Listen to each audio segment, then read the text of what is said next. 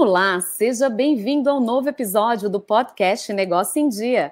Eu sou a Juliana Franco, sou jornalista e a cada 15 dias tenho um encontro com você para falarmos sobre tendências do mercado de alimentação e histórias inspiradoras de empreendedorismo.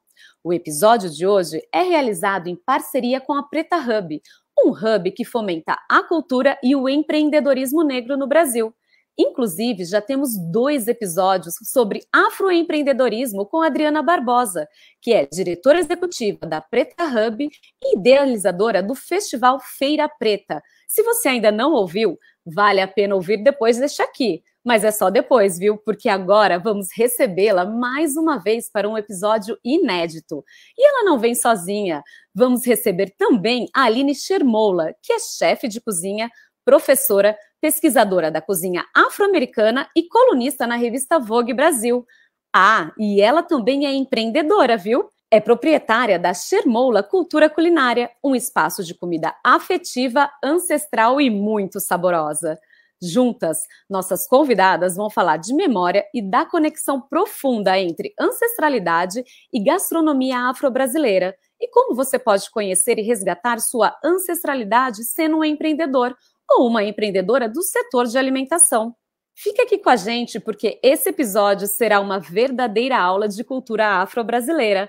Agora vamos dar as boas-vindas às nossas convidadas para lá de especiais, Adriana Barbosa e Aline Shermola. Sejam bem-vindas ao Negócio em Dia. É um prazer imenso recebê-las no nosso programa. Obrigada, Juliana. Também sinto muito honrada estar aqui com vocês. E a gente vai bater um papo bem legal, tenho certeza.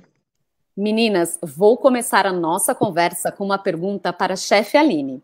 Como a diáspora africana influenciou a culinária do continente americano e, mais especificamente, a culinária brasileira? A partir da diáspora africana, que é essa dispersão dos povos africanos através da escravização, teve uma simbiose, né, uma mistura muito grande de culturas. É, o africano traz as suas culturas consigo, e manifesta no território para onde ele foi levado, e também assimila muito dessa cultura que já existe nesse território. Então, a gente vai falar de diáspora, a gente vai falar de culturas mistas, né, de uma cultura africana, mas também uma cultura local, e passa até pela cultura do europeu que coloniza tanto o continente africano quanto as Américas. É, do meu ponto de vista, a gente vai fazer sempre uma leitura a partir de ingredientes, de técnicas de preparo, dos modos de servir, que até hoje ainda continua sendo bastante africano, até no nosso feijão com arroz de cada dia. Muito legal, Aline. E a África é um continente muito vasto e rico em paisagens, climas, ingredientes e etnias, com uma gastronomia muito diversificada. Por isso, eu tenho essa curiosidade quais regiões e quais gastronomias influenciaram mais a gastronomia afro-brasileira? Quando a gente vai falar de regiões do continente africano, a África Ocidental é, é uma região que trouxe muitas influências e essas influências permanecem até hoje. A gente vai ter ali a, o oeste africano, né, que vai em Gana, Benin, Nigéria, a gente traz também bastante influências dessas localidades e outras localidades. A gente vai falar de países, por exemplo, a Etiópia, é uma grande influenciadora para a gente é, quando se trata de café e também de alguns vegetais, como o quiabo. É, o quiabo é etíope está muito presente na nossa alimentação. É, só para citar algumas dessas regiões. E a gente vai ver similitude nos pratos desses, dessas localidades, nos pratos afro-brasileiros e também afrodiaspóricos ao, ao longo das Américas por aí. Adriana, diante desse trabalho maravilhoso que a Aline realiza, que não é só de resgate da gastronomia, mas cultura afro-brasileira como um todo, eu quero perguntar a você, que é uma apoiadora e aceleradora de negócios comandados por pessoas pretas. Qual seria o primeiro passo para abrir um negócio com foco em comida ancestral afro-brasileira ou então para introduzir a culinária ancestral no seu negócio? Primeiro, muito feliz por, por poder estar aqui nesse, nessa prosa, né? Sobretudo com a Aline, a quem eu sou muito admiradora. E, na verdade, para quem está começando agora, acho que a primeira coisa é conectar com a sua autenticidade, né? Que é o que você sabe fazer, o que, que dentro do campo da gastronomia te inspira a, a, a produzir, né? Seja produto ou serviço. Esse processo de autoconhecimento, ele é fundamental para imprimir, para de alguma forma refletir no modelo de negócio que vai ter dentro do campo da gastronomia, porque é um campo muito amplo, né? Depois que você é, se conecta com a sua história, é mapear qual é o mercado. Vai ser o quê? Vai ser comida, vai ser, é, é, sei lá, um conceito de comida caseira, vai ser lanches. É, qual é, na verdade, qual é a construção do conceito para poder identificar qual é esse mercado? Então, vamos supor que é comida vegana, existe um mercado de comida vegana, né? Ou não, é comida caseira, existe um mercado para comida caseira. Então, entender qual a autenticidade do processo de desenvolvimento pessoal para construir um conceito e desse conceito chegar no mercado, depois você consegue determinar o público e a partir daí construir a sua estratégia de, do, do modelo, desde o do processo da institucionalidade, de tirar um cartão CNPJ, a, a, entender se vai ser um sistema de delivery, ou se vai ter algum espaço aberto, ou se vai ser serviço de que, a gente chama de catering, né? Que é quando aquelas empresas contratam para servir café da manhã e, e, outros tipos de refeição em loco, né? Dentro das empresas, enfim, tem, tem muitas possibilidades dentro desse campo do, do, do empreendedorismo de gastronomia. Ótimos pontos levantados aí pela Adriana, hein, pessoal? Agora me conta, a gastronomia afro está impactando o mercado de alimentação atual e quais são as tendências nessa área? Olha, a tendência é cada vez mais trazer é, conceito para essa gastronomia. O conceito ele está atrelado à ampliação de repertório e profundidade na história da gastronomia de, que, que se inspira na matriz do continente africano, né?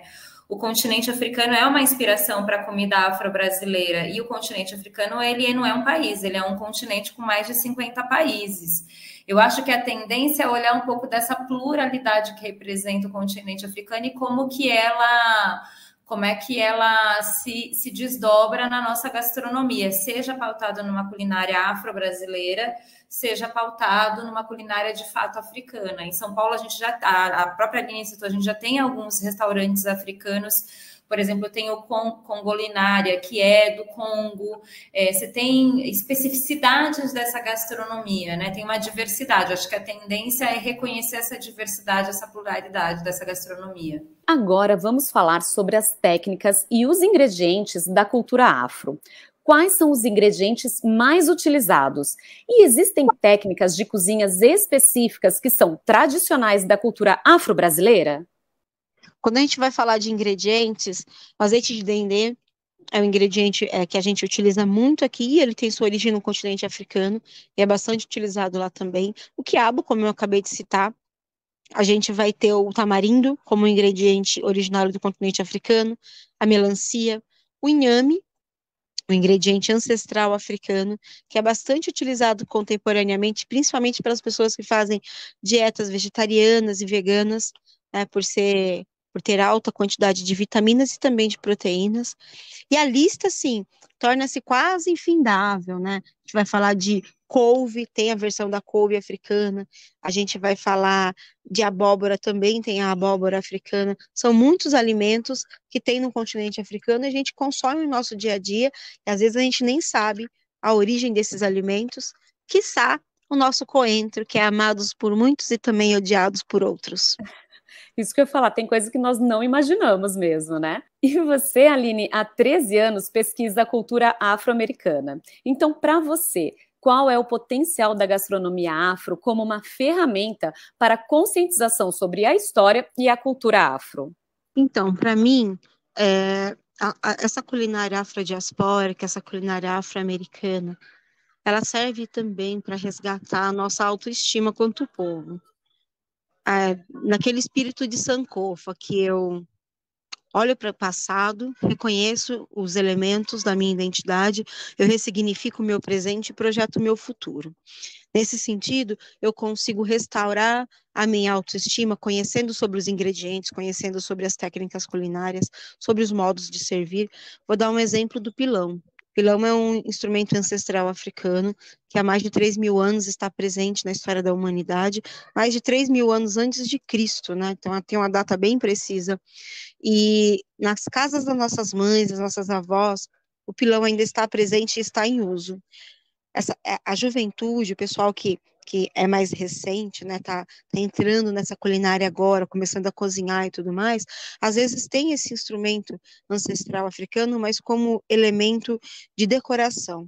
E quando a gente coloca esse, esse pilão para funcionar, para macerar, para esmagar os alimentos, a gente percebe que essa comida que a gente faz, que a gente consome, ela é carregada de sabor afetivo, né, que, que mexe com as nossas memórias, mexe com o nosso sentimento. Isso é muito importante para a gente se posicionar e se reconhecer. Também eu entendo que essa cozinha afrodiaspórica, essa cozinha afro-americana, essa cozinha que tem essa herança africana, ela está ganhando cada vez mais no mercado, no sentido de, de se no sentido de se posicionar como uma alimentação que é importante para um determinado povo. E assim sendo, a gente vai permitindo que os nossos relacionamentos interpessoais rodeados por essas comidas sejam encarados de outras formas e pouco a pouco o nosso povo vai alcançando um patamar na sociedade um pouco distante, um pouco mais distante dessa situação do preconceito racial, da discriminação.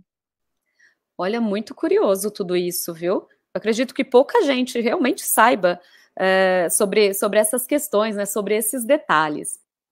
É possível encontrar marcas dessa diversidade da cultura ancestral africana na culinária afro-brasileira que diferencie, por exemplo, a gastronomia afro do Nordeste da gastronomia afro do Sudeste? É, eu acho complexo é, olhar por esse viés no sentido, assim, que a, a, a escravização dos povos africanos, ela se deu por períodos. Né? A gente vai um período de colonização do Brasil, que o Nordeste é muito mais povoado, mas logo em seguida também o, o, Rio de Janeiro, por exemplo, que faz parte aqui da região Sudeste, já, já é povoado e traz esses elementos. O meu olhar sempre é, é, se lança para os ingredientes e para as técnicas de preparo. A gente pode falar do cuscuz, por exemplo. O cuscuz é, é um alimento que no Nordeste ele se dá de uma forma, no Sudeste ele se dá de outra forma, mas também em outros estados do Brasil ele se dá de forma distinta. Por quê? A técnica de fazer cuscuz é africana, mas o africano ele fazia cuscuz no local em que ele estivesse, dependente se fosse Sudeste ou Nordeste, Norte ou Centro-Oeste, mas com os ingredientes que eles encontravam. Então você vai para o Maranhão, você vai ver um cuscuz de arroz. Você vai para Pernambuco, vai ter o cuscuz a partir do milho. Você vem para São Paulo, você vai ter o cuscuz, mas é um cuscuz paulistano, um cuscuz decorativo, um cuscuz gelado. Se você vai para a região sul do país, você vai ter um cuscuz de amendoim, um cuscuz de charque com arroz, né? Não necessariamente é, um prato totalmente diferente, a técnica é a mesma aplicada no cuscuz africano de trigo saraceno ou de cuscuz marroquino, porém utilizando o ingrediente que tem ali disponível no momento. E aí o, o que nos leva a entender que o africano trazia sua técnica e a sua tecnologia consigo, e ele tinha bastante inteligência para reconhecer nos ingredientes brasileiros e de outras localidades também, a técnica que deveria ser aplicada em tal ingrediente. Se a gente vai para o sul dos Estados Unidos, a gente vai encontrar um bolinho que é idêntico ao nosso acarajé, que é o Rush Puppies, mas ele é feito de milho a fermentação do grão de milho é idêntica à fermentação do, do acarajé, também é um bolinho que você fermenta e depois você frita na gordura quente, então a aparência física dele é muito similar, porém quando você parte o bolinho, ele é de uma cor bem amarelada, e o ingrediente principal desse bolinho é o milho. Então a gente percebe que a técnica de fermentar o grão é, foi como elemento cultural do africano que foi para essa região, assim como os africanos que vieram para o Brasil trouxeram essa técnica também. Aplicaram no ingrediente que tinha e aí resulta numa variedade de pratos. Né? E a gente vai perceber isso em toda a extensão do Brasil. Na Amazônia vai ter a maniçoba, no, no, na região norte na região do Nordeste do, do Brasil, vão ter vários pratos que são a partir dessa culinária afrodiaspórica, afro-brasileira, no Sudeste terão outros, e o nosso trabalho também, é, como pesquisador, é fazer essas investigações e trazer essas evidências no sentido de encontrar uma narrativa também que conte a história do nosso povo. Adriana, agora eventos como o Festival Feira Preta que você criou são ótimas vitrines da culinária afro. Além deles, quais ferramentas você indica para divulgar o negócio de comida afro e como chamar a atenção do público para os seus produtos? as redes sociais é, é, um caminho interessante, as plataformas de, de marketplace, de como, como um iFood, né? É, a estratégia do marketing digital ele é fundamental para a formação. Junto com o marketing digital, o online, são as ações offline. Então, convidar pessoas para ir no restaurante vivenciar uma experiência, o boca a boca ainda funciona muito.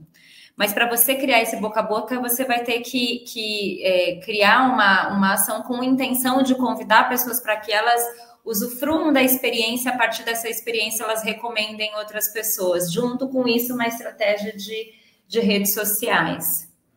Muito bem, pessoal. Hoje eu tive a honra de receber duas mulheres pretas, empreendedoras e inspiradoras, donas dos seus negócios e fundadoras de projetos maravilhosos que fortalecem a cultura afro-brasileira e resgatam a sua ancestralidade. Aline e Adriana, muito obrigada pela participação. Adorei conversar com vocês e aprendi muito na nossa conversa. Eu que agradeço. Obrigada pelo convite, Juliana. Até mais. Eu que agradeço, adorei participar. Eu acho que são temas relevantes e muito importantes para a nossa sociedade. Eu indico para as pessoas é, frequentarem restaurantes africanos, desses africanos que são migrantes dessa nova geração, conhecer um pouco mais esses sabores, desvencilhar do preconceito quanto aos ingredientes. Às vezes a gente não come o inhame com manteiga, mas a mousse de inhame nos vai muito bem. Então a questão não é o inhame, e sim a forma como ele é preparado, porque a gente se abrindo para esses ingredientes, a gente permite que eles continuem vivos na nossa sociedade. Eu costumo dizer que às vezes a pessoa não gosta do coentro, mas quando a pessoa descobre que o coentro é um alimento ancestral que representa a sua identidade, ela pode utilizar o coentro como um elemento para permitir que os que ainda vão chegar conheçam esse alimento a partir do seu consumo. Então, se eu go não gosto de coentro, eu vou encontrar uma forma de gostar do coentro para que o coentro não entre no apagamento cultural e aqueles que ainda estão por vir tenham oportunidade de ter contato com esse alimento ancestral. Porque se a gente não frequentar os restaurantes dos africanos, eles vão fechar e a gente perde muito em termos de conteúdo e reconhecimento da nossa identidade. Se a gente não consumir, esses ingredientes de origem africana que estão na nossa alimentação no cotidiano, eles entrarão em apagamento cultural, assim como aconteceu com a galinha da Angola, que todo mundo ama, mas poucos conhecem o sabor da galinha que é mais saborosa no planeta. No mais, vocês me encontram na rede social como Aline Shermola, com CH, e eu também tenho um podcast onde eu falo sobre ingredientes de origem africana, que chama Shermola Culinária. O Negócio em Dia é um podcast realizado pela Academia Açaí, um programa do Instituto Açaí idealizado pelo Açaí Atacadista, com produção da Mega Media Group. Não deixe de nos acompanhar também pelo nosso portal academiaçaí.com.br e nas redes sociais. Até a próxima!